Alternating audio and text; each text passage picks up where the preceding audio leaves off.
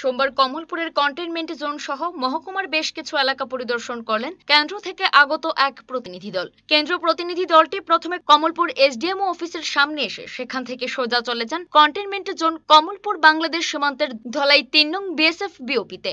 বিওপিতে এসে করোনা ভাইরাসে আক্রান্ত বিএসএফ জওয়ানের খোঁজ খবর নেন। পরে এ ব্যাপারে প্রতিনিধি দলের তরফে কথা হয় ব্যাটালিয়ন কমান্ডার বলবন্ত সিং এর সাথে। পরবর্তী সময় প্রতিনিধি দলটি চলে যান বিমল সিংহ মেমোরিয়াল হাসপাতালে। সেখানে হাসপাতালে করোনা চিকিৎসার পরিকাঠামো পরিদর্শন করে চিকিৎসক ও নার্সদের সাথে কথা বলেন তারা করোনার সংক্রমণ কিভাবে মোকাবেলা করা হবে এই নিয়ে প্রতিনিধি দলের সদস্যরা হাসপাতালের এসডিএমও এবং অন্যান্য চিকিৎসকদের সাথে বৈঠক করেন এদিনের কর্মসূচি নিয়ে কথা বলতে গিয়ে প্রতিনিধি দলের এক সদস্য বলেন প্রতিনিধি দলের সদস্যরা বিভিন্ন জায়গায় ঘুরে তথ্য সংগ্রহ করেছে এই তথ্যের রিপোর্টগুলি রাজ্যের স্বাস্থ্য দপ্তরে জমা দেওয়া হবে ना ना हमने वो एसेस करने के लिए आया एसेस करा अभी हाँ बाद में हम लोग गवर्नमेंट को जो हेल्थ डिपार्टमेंट है टुकड़ा का, उन लोगों को सबमिट करूँगा। हाँ, उन लोगों ने आप लोगों को बताएगा हाँ।